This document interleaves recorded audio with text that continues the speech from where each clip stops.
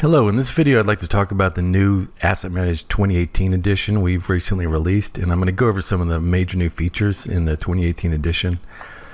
Um, one of the new features is a uh, we've added image captions so you can put a text uh, string of up to 255 characters uh, that describes each image and so to illustrate that let me just go ahead and add an item and um, one example I was thinking of is maybe a, maybe you have a collection of old uh, software that you want to keep around, perhaps just to keep track of the license codes in case you want to upgrade the software.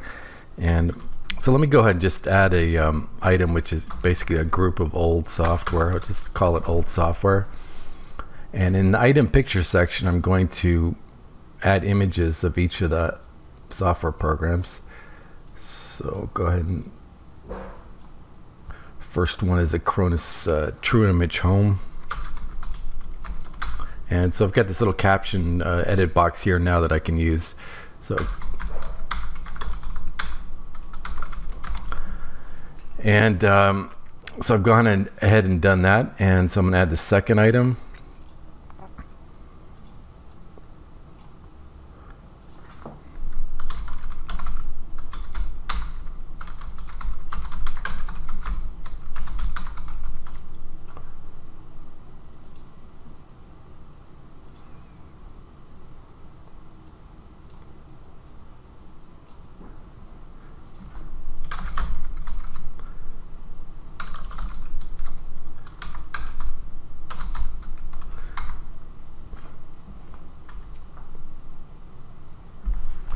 Now I hit OK. And as you can see now, the item is added and we've got the captions are basically titles of each item. And if I go ahead and um, one thing I can do also is I can search for the search for text on the image caption. So let's say, for example, um, I want to look at, uh, I want to find a the Kaspersky uh, the item that contains this Kaspersky uh, internet security. All I got to do is just type in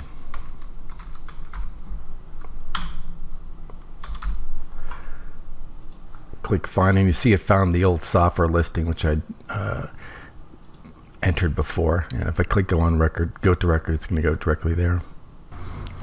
Another new addition to AssetManage 2018 is you can do partial disposal of items. And let's say for example you um, you have office supplies and you have 10 boxes of DK1208 brother labels and you use two of them. Now in previous versions you would have to basically almost create 10 separate entries and and dispose two of them but now it's much easier. So I've got um, I've got entered into the database uh, a quantity 10 of brother DK1208 labels. Now all I have to do is right mouse click click on dispose and it's going to uh, ask me how many I want to dispose. So let's say I just want to dispose let's say I've used two of them. I can give a reason. Uh, let's just say used. You can, you can always create a new reason just type in used and disposal notes. Uh, that, that's another uh, extra field we've added is disposal notes. You can look at the notes related to a disposal. Okay so um, I don't I'm not going to enter disposal notes. I'll just hit OK. And once I've done that you will see if you click on disposed assets now you'll see that there is three brother labels I'm sorry two quantity two of the brother labels and there. And uh, if you look at the notebook item section you'll see a disposal paul d quantity 2